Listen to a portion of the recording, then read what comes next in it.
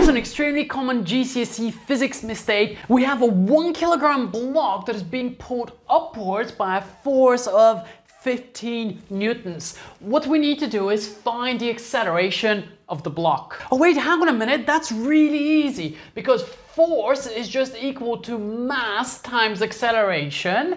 Okay, well we're given the force which is 15 newtons, we're given the mass which is 1, meaning that the acceleration is... Wait, no, I can't even say this, this is wrong. In this equation, the force F is equal to the sum of all forces. We have not taken the weight into consideration. So there will be a downward force which will be equal to mass times the gravitational acceleration which will just be equal to 10 newtons. And the overall force will be 15 take away 10 because they're moving in different directions. So it's going to be 15 take away 10 is equal to mass times acceleration 5 newton is equal to the mass, which is just 1 kilogram times the acceleration, i.e. the acceleration is just equal to 5 meters per second squared.